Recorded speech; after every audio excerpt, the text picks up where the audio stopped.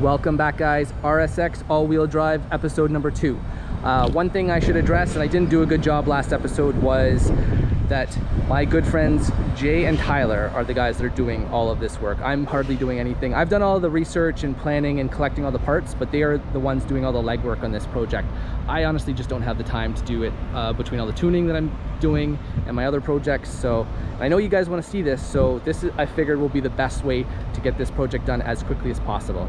So Jay is one of my oldest friends. He owns APS here in Mississauga and I twisted his arm. He is he finally agreed to do this work for me and I, I'm really appreciative of it.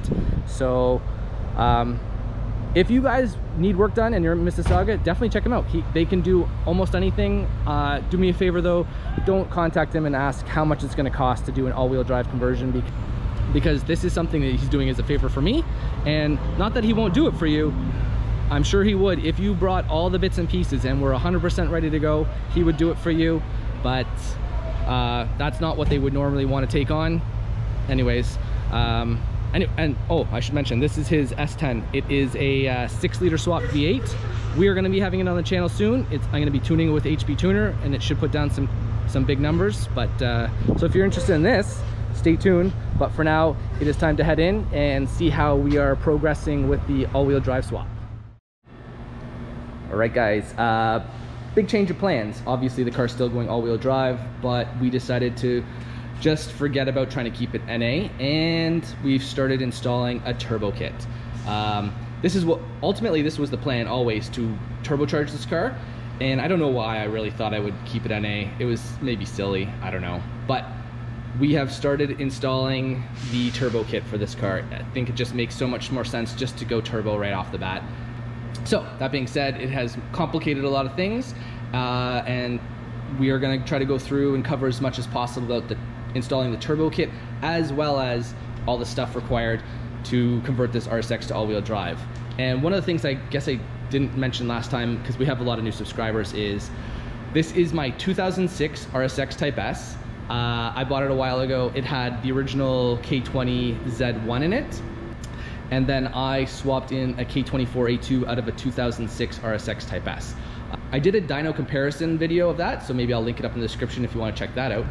Okay, that I guess covers the car uh, for anyone that's new, but uh, before I get into all the details of the turbo kit, I do want to take this chance to mention one thing about the transmission.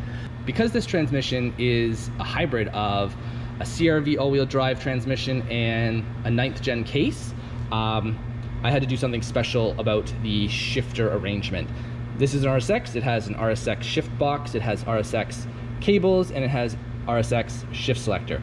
In order to make that work, we're lucky enough that K-Tuned makes a bracket adapter to hold the, the shift cables. This bracket adapter allows you to run all the RSX stuff, basically run a ninth gen transmission in an RSX. This has made life a lot simpler and I'm I have to give them a huge thanks that they make this and they've they've helped me out with it. That pretty much sums it up for the transmission. We'll go into more detail about the transmission once we start hooking up the all-wheel drive system, but that pretty much sums it up for the front end. Um, for now, I'm gonna touch upon the turbo setup a little bit. This is a PLM Sidewinder turbo kit. I have added a infamous Boosted Boiz GTX 3582 ball bearing turbo. I want to see how it's going to perform on this. These turbos, I've tuned a bunch of them. They perform well. They are super inexpensive, um, and it's a good starting turbo. I think we'll outgrow this one eventually, and I have a, another turbo that I'll probably put on it eventually, but for now, this is going to be a good starting point. Um, additionally to this, the plan is I have to swap out these RDX injectors. I did a video a while ago about RDX injectors versus stock ones. Uh, maybe I'll link it up in the description if you guys want to check that out. But I've, it's time to pull out these RDX injectors and I have a set of 1000cc injectors that I got from my friend Stefan at Performance Fuel Injection. I get all my injectors from him. He's super fast.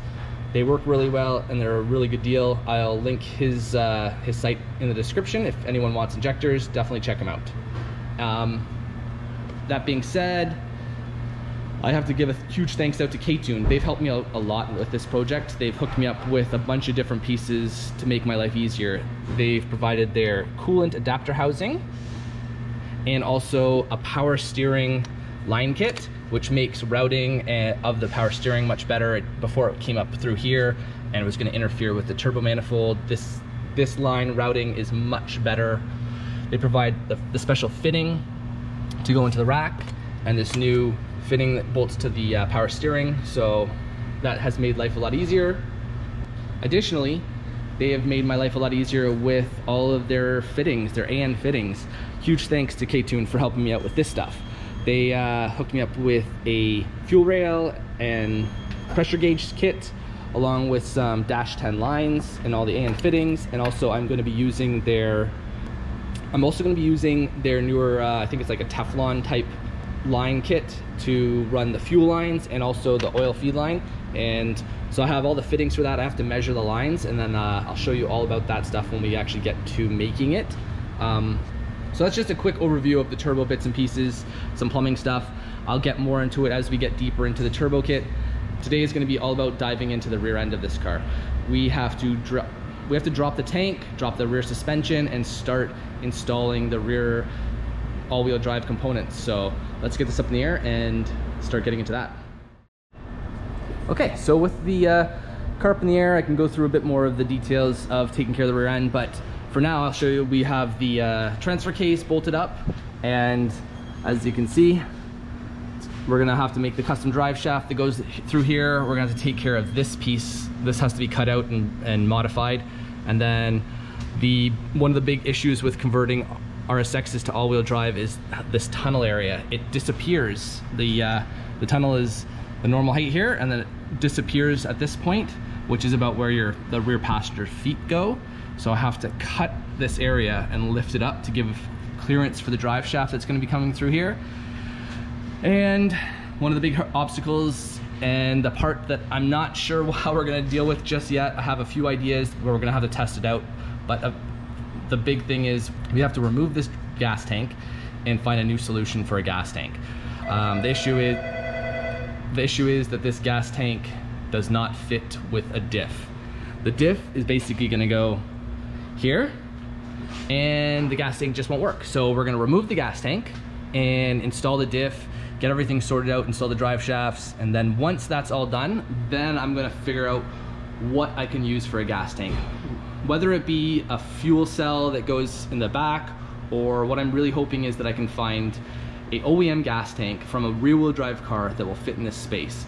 I have a few ideas, but we'll have to just do all this work, get it in place, and then I'm gonna figure out if I can make a an OEM style gas tank work. But today, uh, Tyler's gonna help me out. We're gonna uh, drop the gas tank. We're gonna start disassembling the rear suspension and start installing all the uh, CRV suspension components to make this all-wheel drive. So I guess we should uh, get started. All right, guys, more progress. Tyler has done a ton of work today, and we are getting really close to start putting this all-wheel drive stuff together. Tyler has removed the gas tank, removed all the suspension components, and started to install the rear diff kit. And I have to give a big thanks to Red at Pirate Garage. Uh, I will link his channel in the corner there. He is the one that is credited with creating this rear diff kit, and without this rear diff kit, I wouldn't be able to do this all-wheel drive conversion as easily as I am doing it. He did all the hard work to try to create this. I'm gonna show more about this kit as we go through and go to finally install the, uh, the actual diff.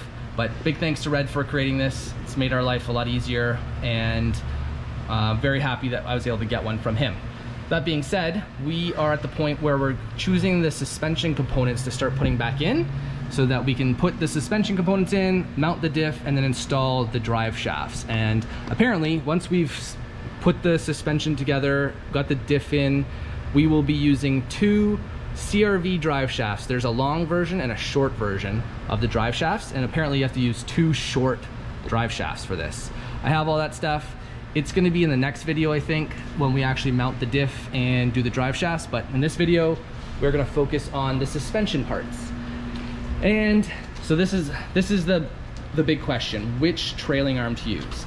This is an RSX trailing arm, this is a CRV trailing arm. And the reason I thought I might want to try to use this the RSX trailing arm is because I'll be able to easily retain a sway bar because uh, this is going to be a track car I want to be able to retain a sway bar The issue is it's not gonna work.